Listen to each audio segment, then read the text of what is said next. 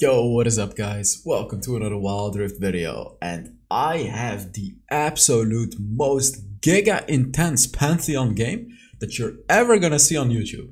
So in the beginning part of the video, I'm gonna explain to you guys how to build Pantheon. There's timestamps in the description if you just wanna skip to the gameplay.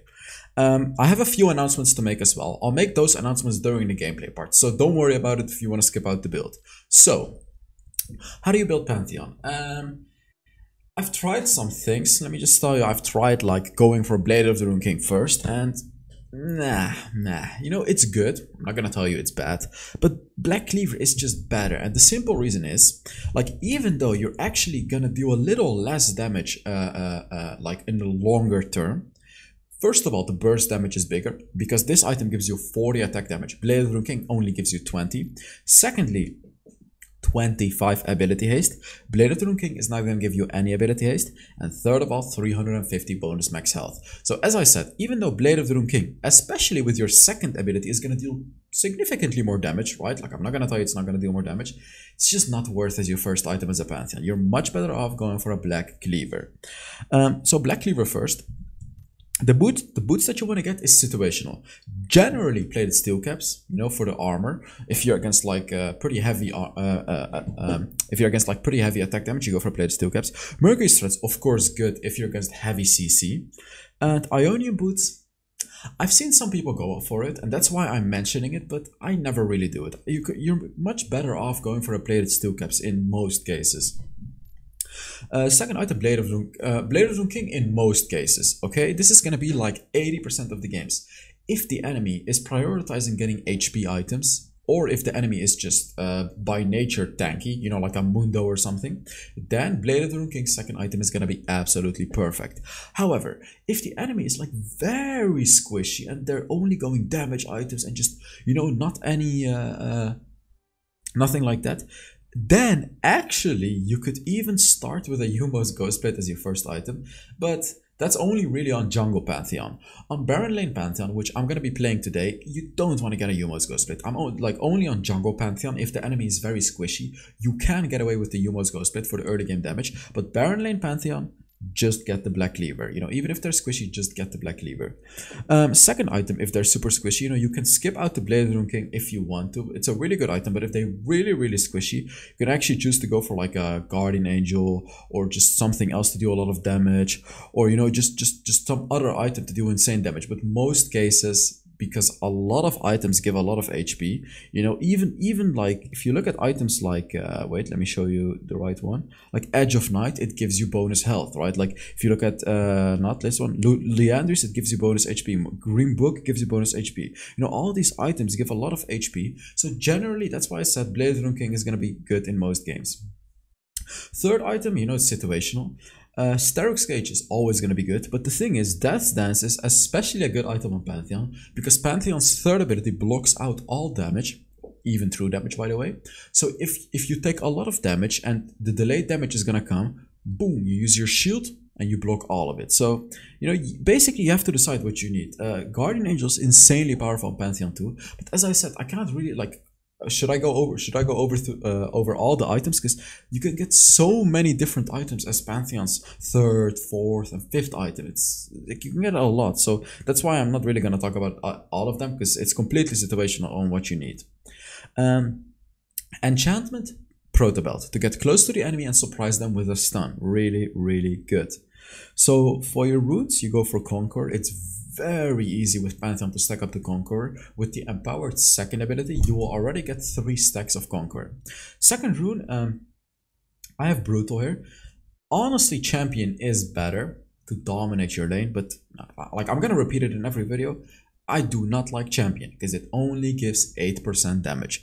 But it is, like, I'm, I'm still to be honest with you guys, it is generally better than the Brutal. I just don't like the way that it works because if you die, you permanently lose damage at least Brutal is going to give you that damage forever, right? Um, um, third rune, situational. Hunter Titan if the enemy has a lot of CC. Otherwise, get an adaptive carapace. Or, or you can get bone plating if you're against a Teemo, against a, a, a Riven, you know, champions like that that use multiple abilities. Bone plating can be good. So yeah, bone plating, Hunter Titan, or adaptive carapace. Fourth rune, Sweet Tooth. Because Sweet Tooth Yes, that's right. Sweet Tooth is broken. Uh, for your spells, you go for Flash and Ignite. Always Ignite. Unless you're jungle, of course, but always Ignite in the Baron lane. And the reason is because uh, he's an like he can execute the enemy, and Ignite is going to contribute towards that execution. So enough about the build. Let's now get into the gameplay. it's not that. There it is. Sound? There we go, we can hear sound. On to the gameplay. So let's take a look at the thing that I'm already doing on Pantheon. So with Pantheon, you do not take an upgrade. You do not take an upgrade, you just wait in the bush, and then if an enemy shows up, it's a free kill. An enemy does show up, free kill. Unfortunately, my team didn't follow up. Very unfortunately, otherwise he was literally a free kill. Um, but basically, that's the thing that you can do with Pantheon. You can get a free kill in the early game if you catch an enemy like that and your team follows up. It's okay though. Um, a quick little announcement that I have to make, just quick. The mid laner in this game is a challenger player. Uh, he's playing on a Smurf. His name is Ryu. Uh, I think I pronounced that right. And I'm gonna take a vacation next week. Basically, I'm gonna go to München, have some fun. I am gonna bring my laptop with me though to still make videos, but I don't want to play Wild Rift. So he's actually gonna help me provide content for the channel. And he's a challenger player, and he also plays every role, just like me. That's why I picked him for it, of course. And yeah, so you guys are going to be seeing some different gameplay as well. But not, you know, just a few videos. So you guys can see some different perspective, a different play style. So I think it's a really good idea. So let me know your thoughts on that as well. Also, I'm doing a 15 skin giveaway. Easy kill, by the way. I'm not sure how I'm gonna do the giveaway because uh, you have to wait for two weeks to gift the skin, but I'm gonna figure it out. So I'm still giving away skins, no problem. There, by the way, easy kill. You know, that's the whole, like, that's the whole power of Pantheon. You can absolutely destroy, look at this, look. This is what Pantheon does, guys. You can, you can absolutely destroy him. I, I'll get close to him. I can kill him. I take the heal. What a disgusting move.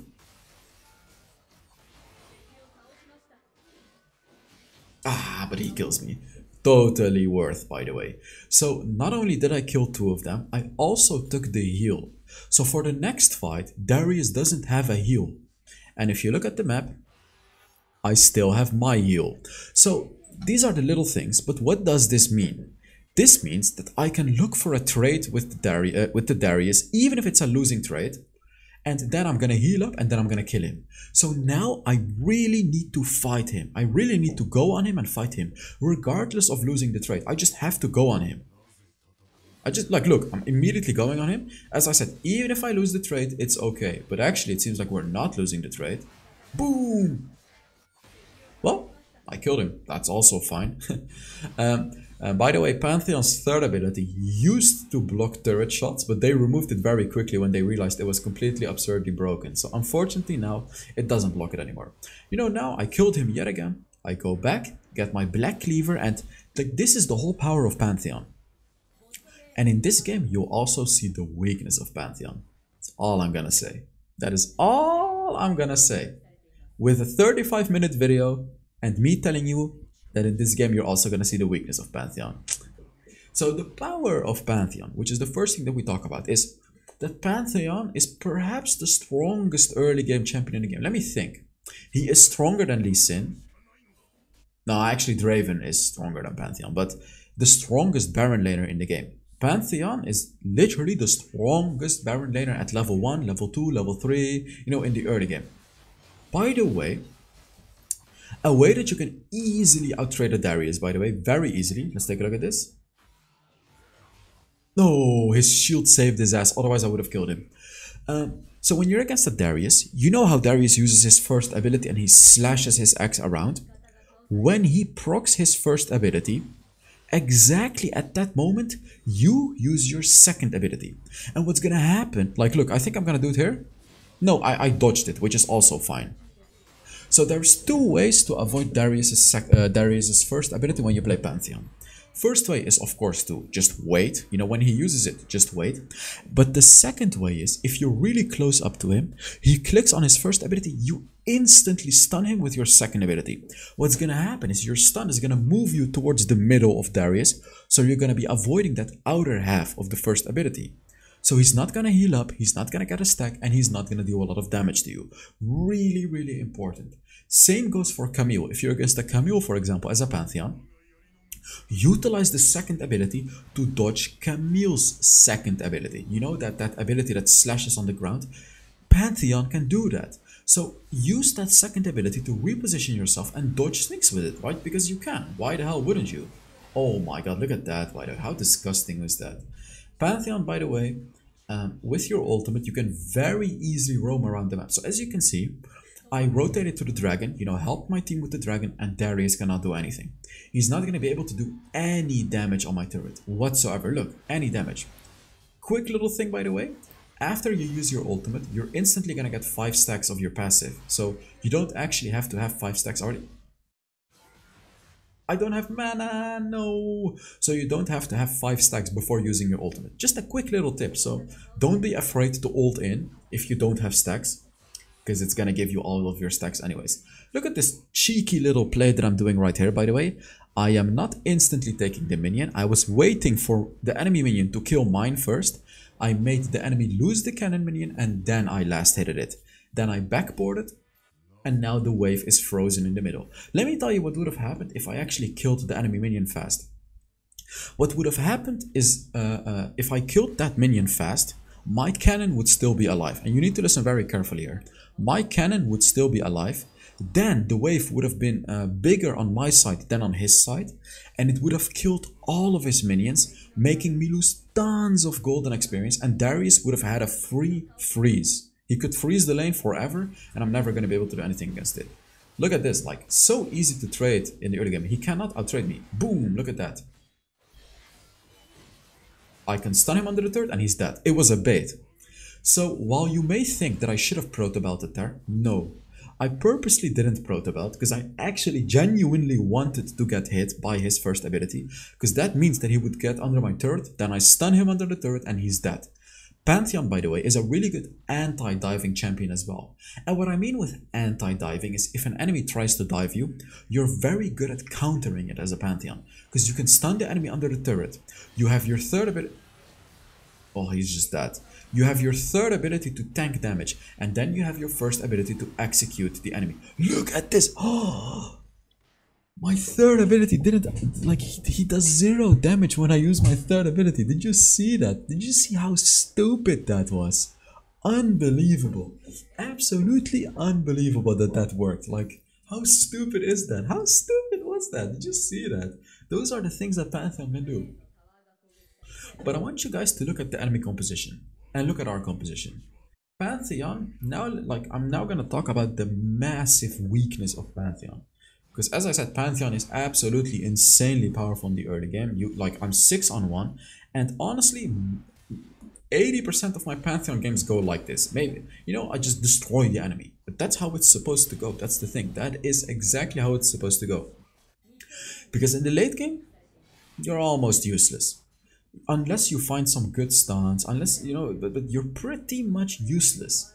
Um, like, look, here I'm still super powerful, using my shield to block the damage, Get close to them. Boom!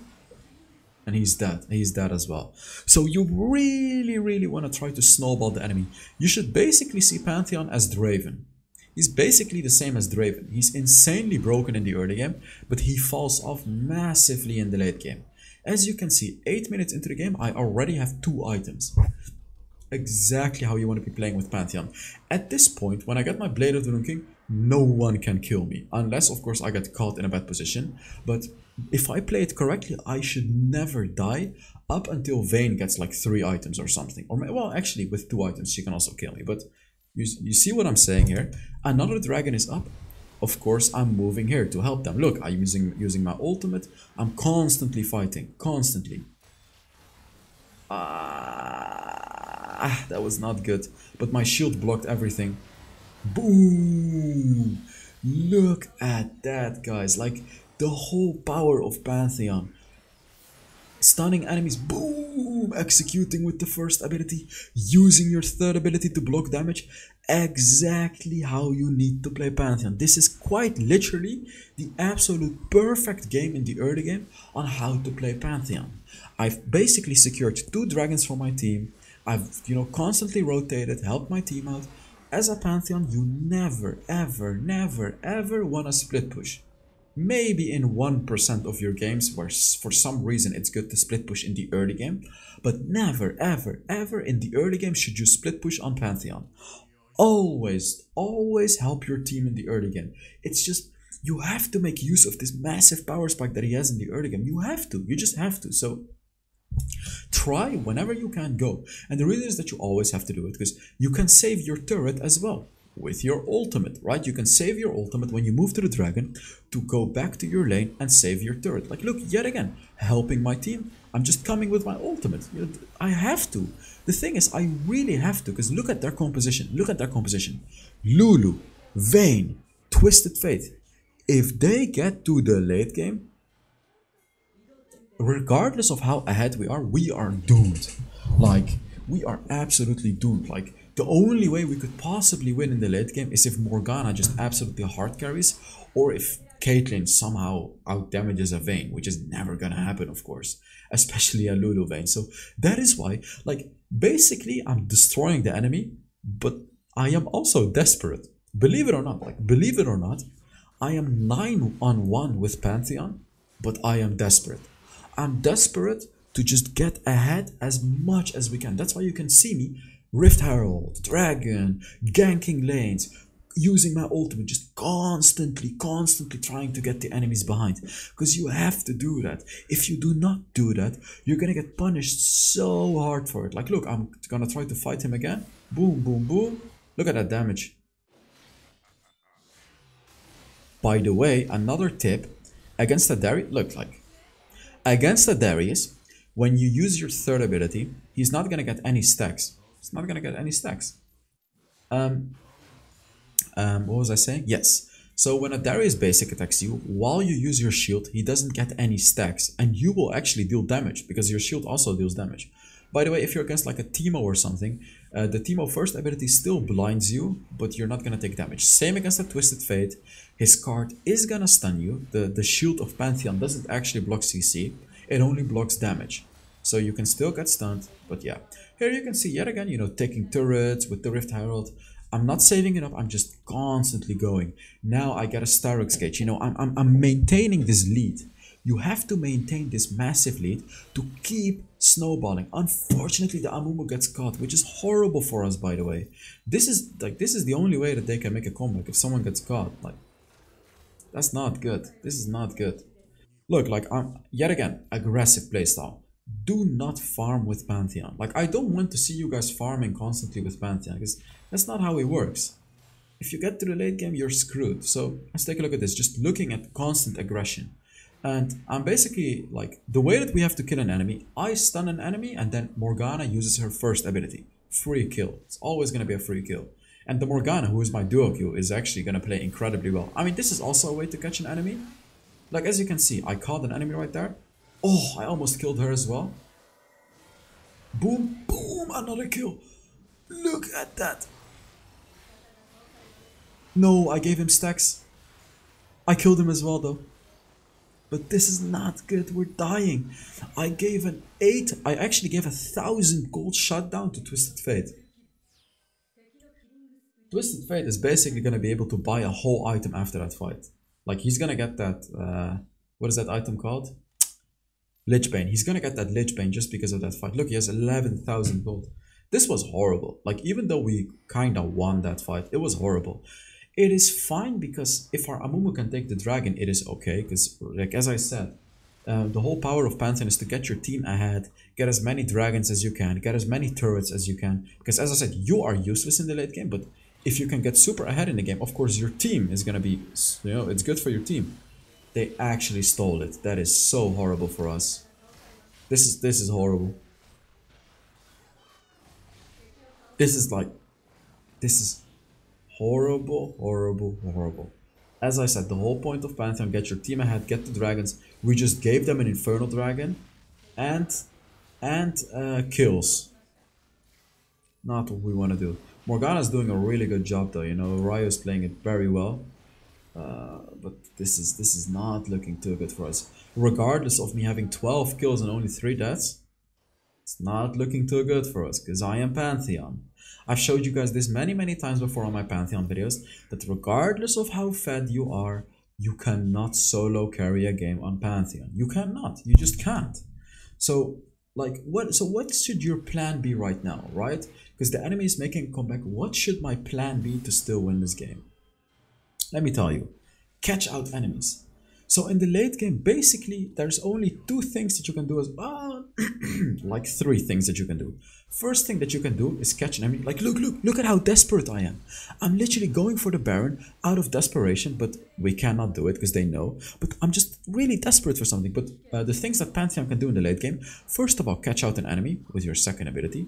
Secondly, save one of your teammates if an enemy dives like if if for example if the darius dives my team i can stun him with my empowered second ability the stun duration is one and a half seconds which is pretty long third thing that pantheon can do is buy time the build that you go is Sterak's Gage, Death Dance, you know, defense. You want to get defense items.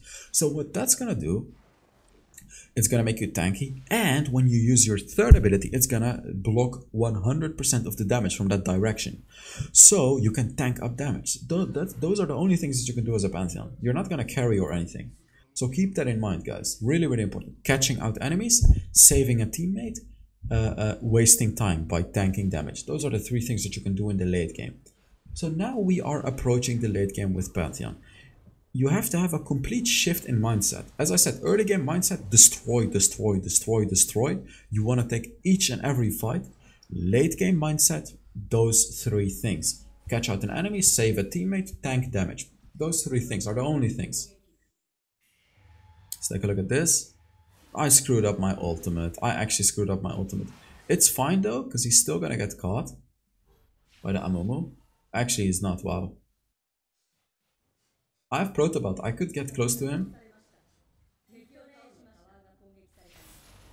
Uh, yeah, I can still kill him. Like, I have so much damage. Yeah, I can, like, still kill him like this. This is fine. Like, as I said, I'm not fighting with my team. I'm trying to 1v1 or 2v1 with the uh, Amumu, the Twisted Fate. Because actually, in the late game, the only, well, you are still strong at 1v1s. But the problem is, in the late game, there's not going to be many 1 versus 1 situations. So, yeah. In the late game, you know, you want to look for those one versus ones or the three other things that I mentioned. Take a look at this. I catch a Lulu, as I said, catching out an enemy. I'm just waiting in the bush right there. I'm not even helping with the Baron. Literally just waiting in the bush. Look, this is what I'm doing. This is literally what I'm doing. Can I kill the Lulu? Yeah, this is worth it. Like, as I said, you're so useless in the late game that it's actually worth... Oh my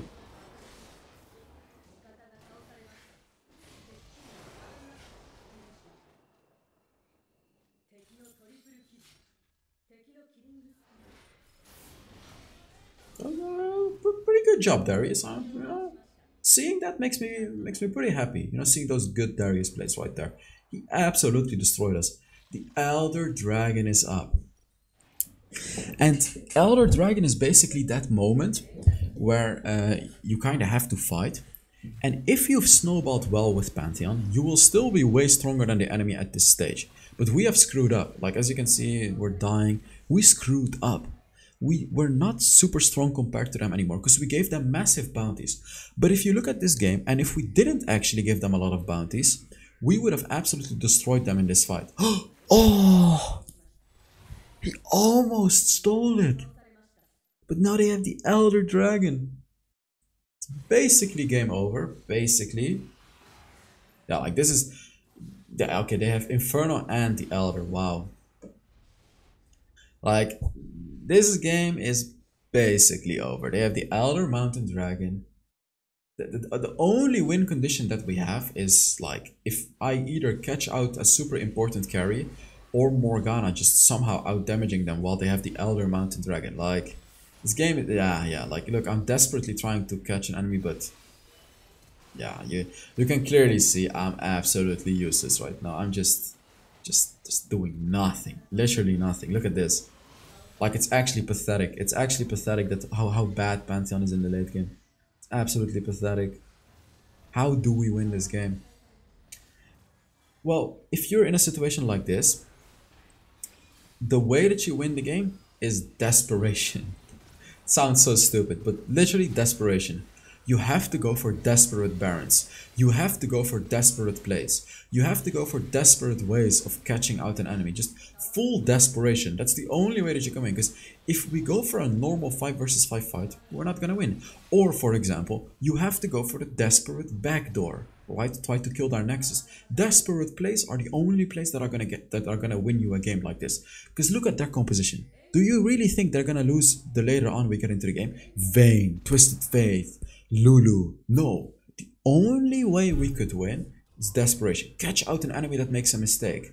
Uh, do a Baron out of desperation. You know, that kind of stuff. We just have to do it. We just have to do it. That's the only way we can win. Baron is spawning in 50 seconds. We have to play around that Baron. You know, we have to do something. Either kill all of them, get the Baron, just, just something. Because the, if we wait it out, we lose, right? We just lose if we wait it out. If we wait it out, give them Baron, them with the Elder Dragon and the Baron, they're of course just gonna win the game. Look at that damage, man. It's crazy, like one card and one first ability is like almost 60% of my HP. No way. He could have actually killed me, believe it or not. Oh, look, this is the desperation trying to catch him out out of desperation and it works look it works I immediately went for it flash everything just using everything to get those kills look at that. Stun him. Boom. Boom.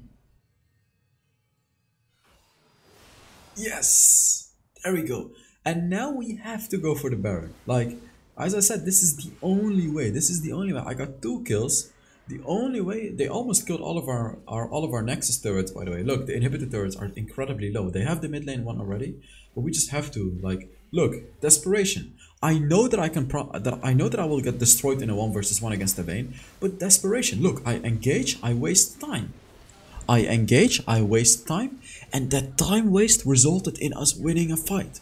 You see what I'm saying here? Even though this is a completely lost game, I am just engaging and wasting time and I'm relying on my team to carry and they did I killed myself in the game I wasted time with the third ability. That is what Pantheon can do as I said. And yes we actually killed them. Now we're still in a horrible position. Like as you can see desperation. Teleport Caitlyn buys teleport boots. You know she cleared out the wave. She buys teleport boots just doing the Baron. We have to. We have to. As you can see you know they're just doing the Baron. Our jungler is alive. Enemy jungler is coming. Smite. We smite it. Now go. Oh my god, look at that damage. They have to kill the Twisted Fate? They don't? It's okay. Go back. Go back. Let me tell you one thing. The enemy has the Elder Dragon, but there is a huge but right here. Baron also gives you a buff. Baron gives you bonus attack damage and bonus ability power. Unfortunately, I will not get it because I, I was dead when they got the Baron, but my teammates currently have a bonus attack damage and bonus ability power. So perhaps a slightly bigger chance of winning a fight, especially for Morgana because she is our main carry right now. You know, I was the main carry early game, but now she is. Look at what I'm doing. I am pushing out the side lane, you know, I'm telling them to be careful. Um, like what we need to do now is we need to get inhibitors or like we need to try to finish the game basically. Like, you know, after this Baron, our chances of winning are zero.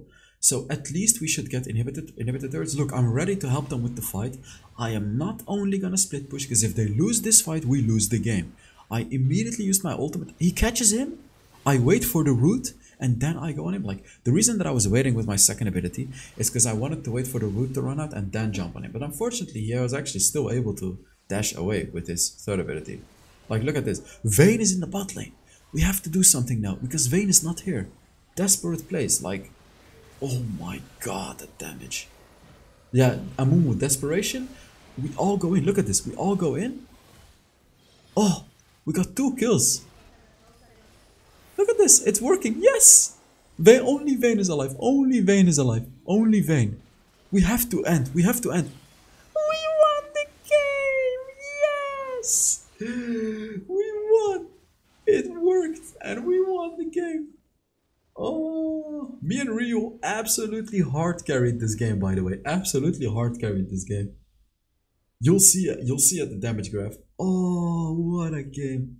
We were not supposed to win that anymore. Like, I dominated in the early game, but We were not supposed to win it because the enemies actually made the comeback. I performed better than 96% of Pantheons, but yet Ryo still got the MVP because he performed better than 97% of Morgana. Yeah. So yeah, both of us did insane damage. And yeah, look at that. Look at that damage graph. Look at that. How insane is that? so thank you guys so much for watching. I really hope you enjoyed this Pantheon video. And uh, yeah, like always, I will see you all in the next Wild Rift video. Bye bye.